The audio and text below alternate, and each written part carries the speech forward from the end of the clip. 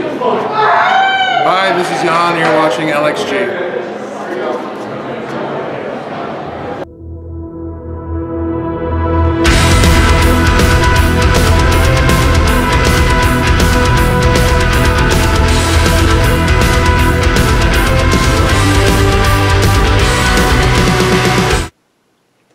Hello and thank you for joining us again on another LXG Sunday News. I'm Token Gamer Chick, Um, Merrick.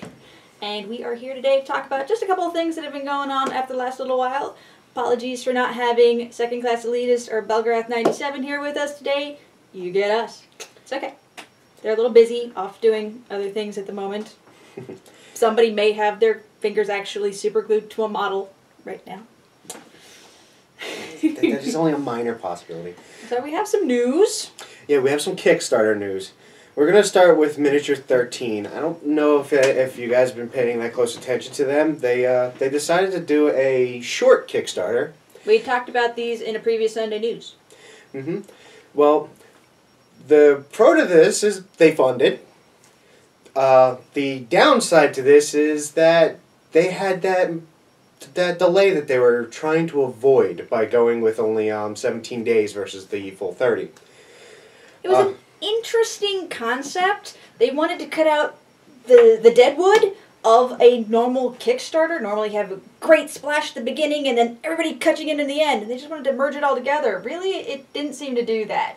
No, for uh, it looked like they got about five or six ish people in the first couple of uh, the first about five days or so, um, and then they waited until the last two or so before they got the the rest of them. I think they ended up with about eleven people in total, so they got about another five or six. So they still had that dead period for about a week. Yeah, But, they, they like- did fund immediately though, didn't they? Yeah, they, they the, the first like the first five or six people actually did fund almost immediately. They they were they were already at almost all of their stretch goals.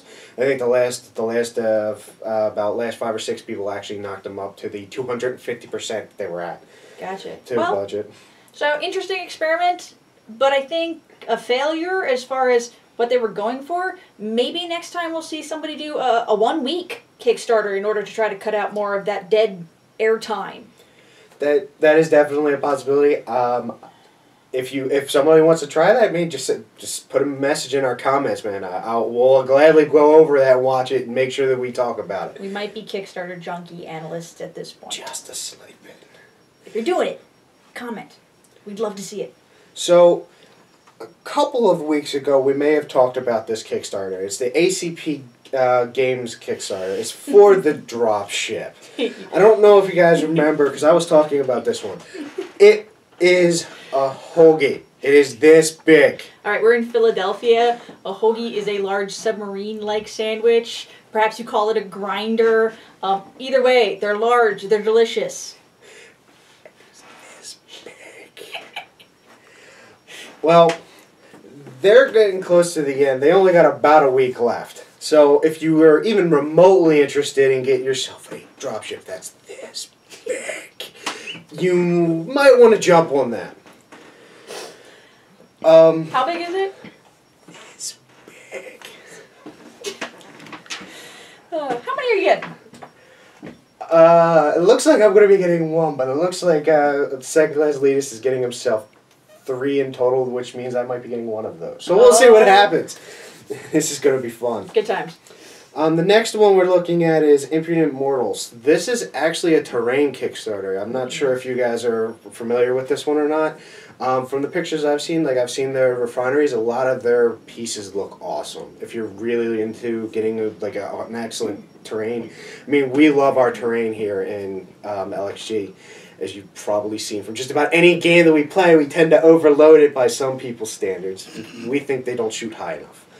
Um, they've only got about a week left. Uh, I really recommend you take a look at that because it's just it's there's some really awesome pieces of terrain. Like I said, I've seen the refinery and I think that looks great. They're the ones with the skylights and everything too. Uh, yes, they are with skylights. Oh, oh, the skylights. If you like a little bit of extra on your terrain, these things can right up there. Um, the last, uh, excuse me, not the last one. The the next piece we have is Daft. They are um, actually hand me that real quick. Sure. They are the little wooden cutout figurines. Their Kickstarter has One day left. If you're watching this after Monday, Monday. at midnight, you're too late. So we're gonna try and get this up fast so you can know about this and actually pledge into it. Okay, they're still great little things. They're taking all kinds of medium for us here really well. Uh, all kinds of things: colored pencils, markers, paints. Uh, if, if painting is not your thing, if you're more comfortable with colored pencils or markers, It'll work Awesome. perfectly. Okay, what's our next thing? Oh, our next thing is Dwarven Forge. Dwarven Forge has got himself a new Kickstarter. Dwarven Forge. If you haven't seen any of the Kickstarter movies and the how to and let me introduce you to my thing, I'd recommend starting with the Dwarven Knight and Dwarven Forge Kickstarter intro movies because they do a fabulous job. I find them all very entertaining. He's so into his own product. Uh, I still can't get over the first time I saw it. I mean, he ran over his own product with a truck. Okay. I'm not even talking where we're being funny. He ran it over with a truck. I mean, like a full-sized, full uh, four-wheel drive. Just ran over and went. Eh, it's gonna be fine. Don't worry about it. For those who may not know, uh, Dwarven Forge makes great tabletop terrain. Uh, their target audience is actually uh, role playing game tabletop things, not wargaming tabletop, but their modular terrain is fabulous. And they've come up with a whole new um, product, some kind of vulcanized rubber t- spin off, and they call it Dwarvenite. And the stuff is amazing. The stuff will survive past you and probably past your kids, even if they're war gamers too. We have dropped it. We have run over it. I we haven't microwaved it, and I'm not going to. But if it did, I wouldn't be surprised If, if, it it lived. back into place. Um, uh, we have been faithful followers of the Dwarven Forge Kickstarters for the last two ones. They've been doing them annually. Uh, the first was just Dungeon Tile and Gorgeous. The second one was Natural Cavern. This time, completely different. They're doing buildings. Yep, that is they, that is completely correct. They are doing modular buildings. For your your basic buildings, you have two different styles. Well, actually, for all your buildings, you have two different styles. You can either go with like a Tudor style or a actual stone building. These are great because like the the um, they come with four excuse me four posts to actually create your walls. The basic the basic building is uh, what was it about four by four? Four by four. Four inches by four inches. I think they're only uh, two inches tall, though. Right. It, it, the initial building is only one is only one story, so it is fairly small. Um, but it is something where if you get yourself like I think their second their second actual pledge in value gives you six buildings in total. Yep. Three and three, so three Tudor, three stone. You could literally make that a three story tower You can if make you that a six story tower if you really wanted to. But yeah, they're incredibly modular, very versatile, very um, appropriate for a multiple genres if Mm-hmm. you want out there. Uh, the one limit they're they're a little bit small for some of our needs, but they're a great 25 millimeter building. Yep. Fabulous. 25 the the 28 millimeter would work perfect for them um, if you when you look at their video they they actually show off a couple of models they actually look like they're going to be producing so uh, they will have they will have some two scale models that you could also purchase to go with it that that may be more your alley as well And I highly encourage anyone to go out and if you're interested, back it and back it big because they promised one of their stretch goals would be sewer. Very excited about that. I think it will go great with my dungeon and natural cavern, and then you have sewer works. Oh yes, there will be sewer.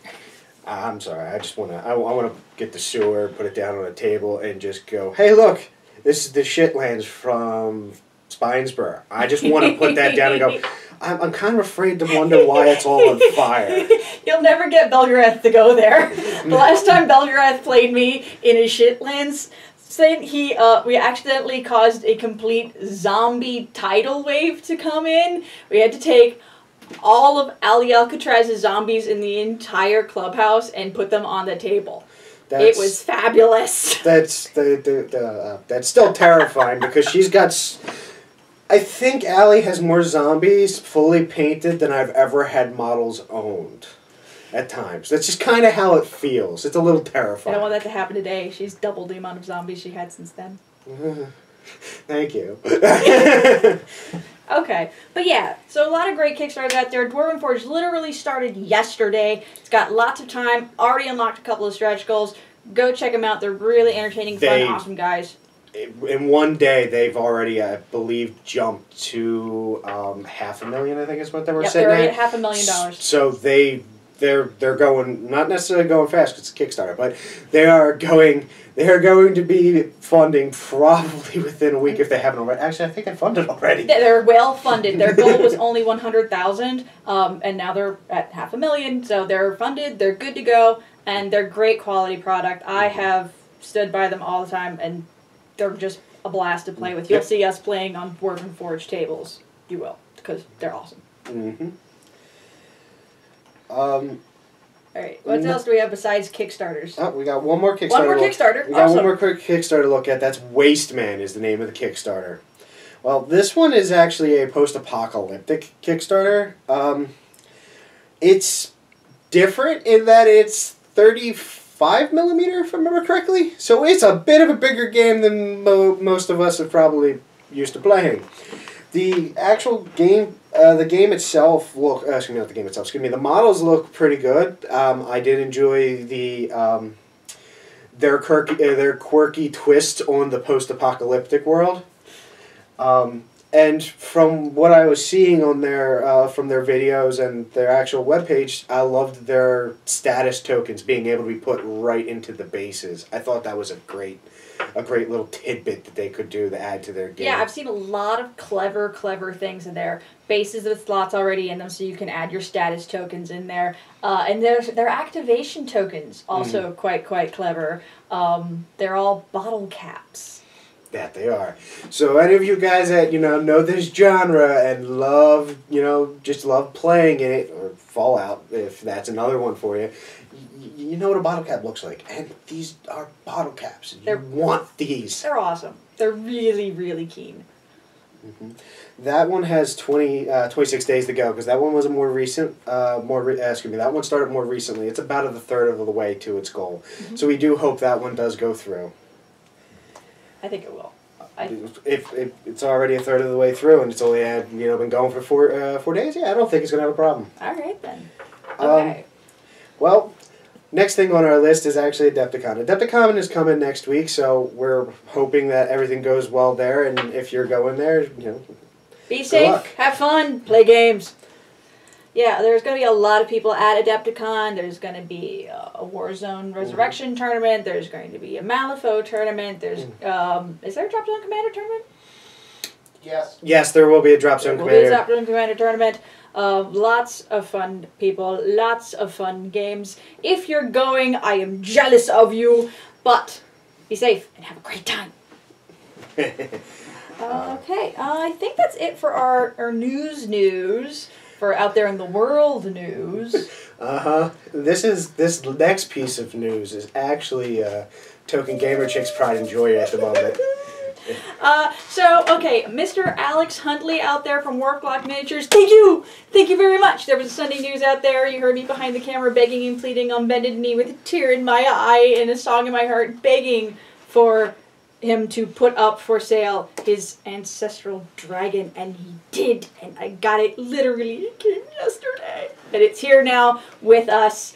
And if we can get a close up here on this thing, I want to be able to show you exactly how large this guy is. Mm-hmm. So here he is on the table. Tip of his nose twirling all the way down to the end of his funky little tail. That is a one foot ruler there, folks. If we were to actually stretch him out and lay him end to end, he would be close to 22 inches long. He's huge. This thing is monstrous in size and it's awesome. Yes. He is going to be magnificently done. I already have one of Mr. Huntley's already gorgeous dragons. This is his fire lizard that I've already got all done up beautifully there. Well foliaged and based and everything, and he will have a friend. Yes. I don't know. That's the, I don't know if this one calls it friend or food. Hey! Do not despair. I believe in you, little fire dragon. You can totally kick his butt. However, you're both going to look magnificent doing it. Um, Alex, I don't know where you get these crazy ideas from, but keep them coming. As long as you keep predicting beautiful things, they will find a home here at LXG. Absolutely. Thank you. I was literally in tears. I was so happy to get this guy. It was Mhm. awesome. Although I think I'm going to modify it a bit. It comes with this brilliant piece of terrain as part of the basing, so he doesn't topple over. But really, this is such a nice little archway. I think I'm going to use it as a separate terrain piece on one of our tables and find something else to counterbalance him on his own base. so we'll see what that happens there. But yeah, Warploque miniatures, Arcworlde. Mr. Huntley has some fabulous, fabulous sculpts. He's a very unique signature artist. Love his things. If you have anyone out there for something new and refreshing for your paintbrush to go over, check out Warploque Miniatures and Arcworlde Games because dang, some of them are so pretty. Mm-hmm. I agree. I love the way this thing looks. It is huge and it's just awesome looking. Well, that appears to be all the uh, all the news we have for today. And excuse me, I'm I'm Merrick. This is Token Gamer Chick, and that was That was our Sunday news. Thank you for tuning in and watching. I hope you enjoyed it. And I hope you are going to have a fabulous time this week. Go out and play some games, okay?